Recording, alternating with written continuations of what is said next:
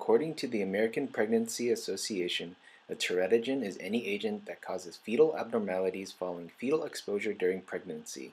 This may be a medication and it will be labeled under the pregnancy category X.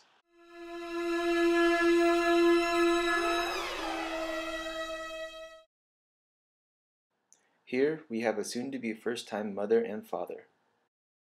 The husband is preparing to give his wife's morning medications, which includes prenatal vitamins and isotretinoin, marketed as Accutane, is an oral drug primarily used to treat severe nodular acne and is known to cause spontaneous abortions and congenital malformations, malformed ears, cleft palates, and craniofacial bone anomalies.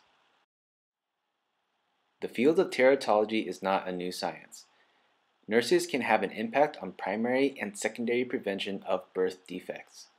Nurses who provide healthcare for childbearing families are in key positions to help prevent perinatal congenital malformations and dysfunction by disseminating information on the prevention to patients, contributing to databases, and acting as advocates. Nurses who are knowledgeable about the principles of teratology can effectively assist families in preventing neonatal malformation and dysfunction such as this.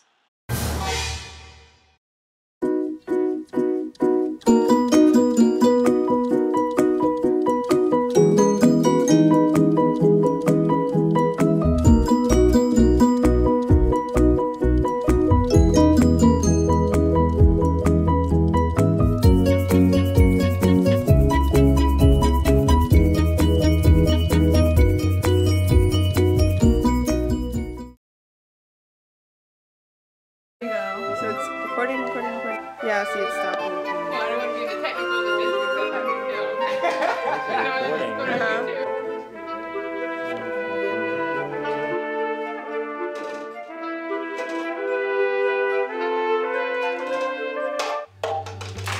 Ugh!